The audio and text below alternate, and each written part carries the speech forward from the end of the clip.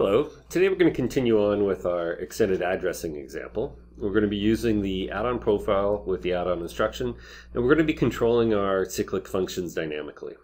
Now this is something that, uh, depending on what your process is, uh, there may be times when you want to start or stop your cyclic functions or do a one-shot, and this is going to show you how to do that. So the first thing we need to do is go in and add the new module.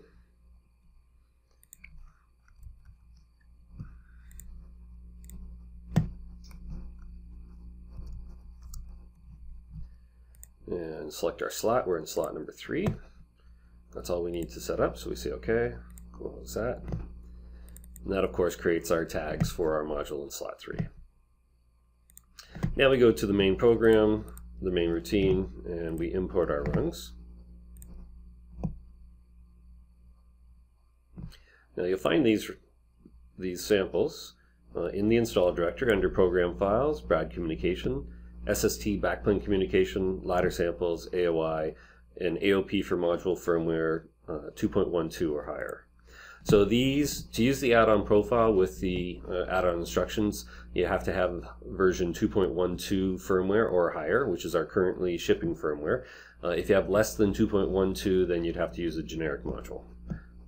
Now we're going to use the paging and cyclic functions uh, for the ESR2, so we import that one.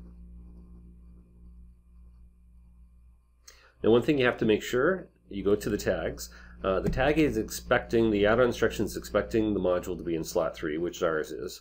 Uh, if yours is in a different slot number, you'll have to click on here and select uh, the proper tag for uh, the add-on instruction to work properly. So we'll just say OK for this one.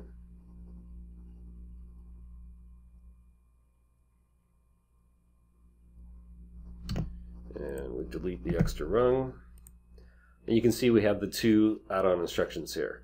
Uh, the one is the same one we've seen in the past, which is the um, add-on profile add-on instruction. That does the actual data exchange uh, in the extended addressing. And then the bottom one is for controlling the dynamic, dynamic functions. Uh, so we still need to set up our paging one just like we do uh, normally. So we go into our controller tags.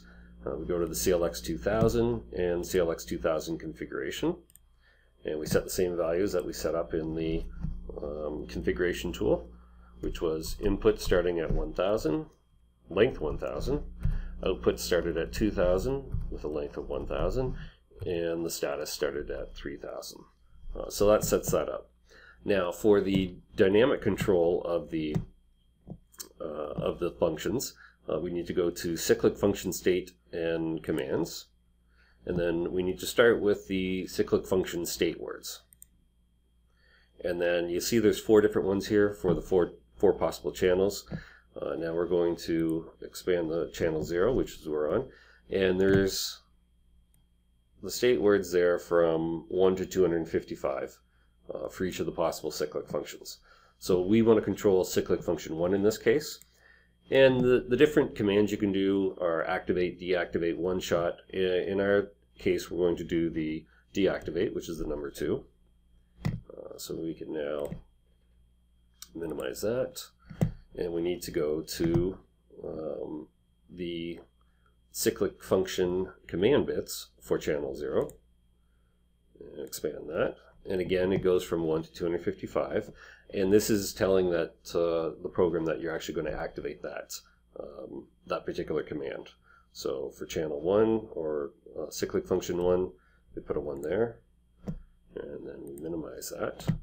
And then to actually trigger that, we'll go down to the uh, trigger cyclic functions. But first of all, we want to download this to the CPU.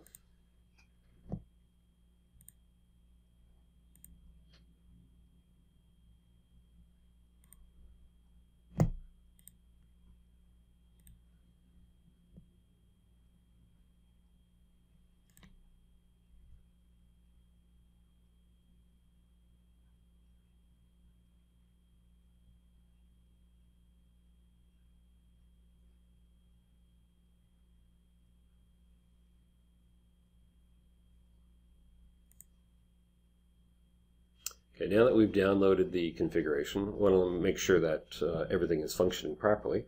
Uh, so if we go back up to data, we should hopefully be able to read data from our slave device. And we go to the inputs. And we see 24, 25, 26, and so on. Those are the values that we're reading from our, uh, from our device. Now, if we bring up the VisuSick uh, program, now this is part of our configuration tool, uh, and this allows you to monitor the state of the cyclic functions. Uh, so here we see that everything is fine. The green yellow means everything is okay. Status is stat okay. Now we need to go back and actually trigger our uh, dynamic function. So we go to uh, the trigger cyclic functions for channel 0. We put in a value of 1 and that immediately uh, does the command and clears it. Uh, now if we take a look at our cyclic functions, we see that cyclic function number 1 has stopped, uh, just like we wanted. So that's a very simple, easy way of controlling your cyclic functions uh, for whatever task you're, you're trying to do. Thank you.